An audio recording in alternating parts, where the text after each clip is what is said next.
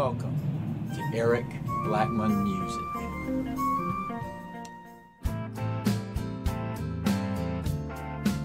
I would love to have a Fender Jim Root signature telly, but I want a real one. In this video, I will show you how I spotted a fake one based on a real experience. A friend called me up one day and said, Hey, I just saw a Fender Jim Root signature Telecaster down at the pawn store for $499. Is it the real thing? I asked. I don't know, he said. You should go down there and check it out. So I did.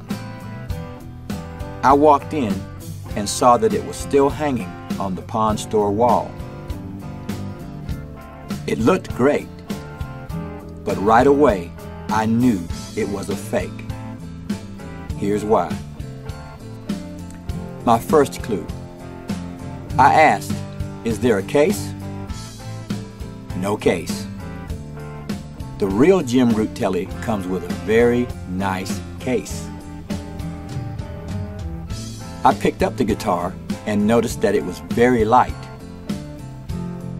The Jim Root Telly has a mahogany body. No way it was this light.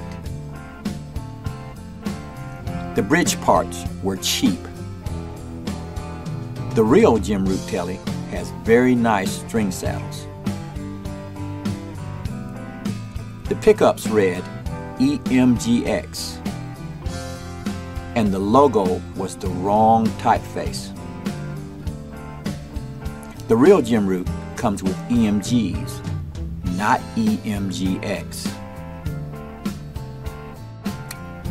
Upon close inspection, I noticed that the pick guard was not cut properly.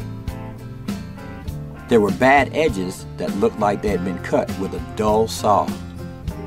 Fender would never put a pick guard cut this badly on a signature guitar. The fingerboard was made from cheap wood. Now the real Jim Root model has an ebony fretboard. The tuners were generic sealed back. The real Jim Root comes with nice locking tuners. The neck back plate is rectangular. The real Jim Root Telly neck heel is curved and has a back plate that matches that curve.